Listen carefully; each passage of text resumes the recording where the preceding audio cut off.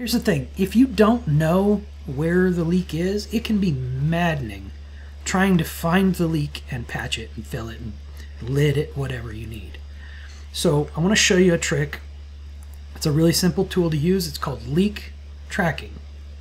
And the way leak tracking works is you pick a face that you know is on the inside of your domain, you pick a face you know is on the outside of your domain, and it'll connect the two, uh, you know, point A to point B, uh, showing you in the process where the leak is. So I could grab like the front and back of a lid, right?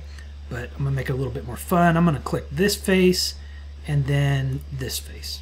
So what I wanna know is how, if I was leaking air, I would be able to draw a line in 3D space from here to there without going through any geometry. So I say find connection and it just draws, it actually draws it on the geometry. It doesn't go through like 3D space It kind of just circles or, or follows the edges. And it kind of uses a weird uh, algorithm, so sometimes it'll draw it in a really weird way. But check it out. It goes down, connects to the back face, goes up that back face to the corner, and that's where the leak is. Right? So simple and easy to use that tool. Now I got to figure out how to close this in. So this used to be something I would tell people, oh man, you know, closing in an electrical enclosure with sheet metal is tough. You got to use like closed welded corners. You got to modify the geometry so it's actually fully enclosed.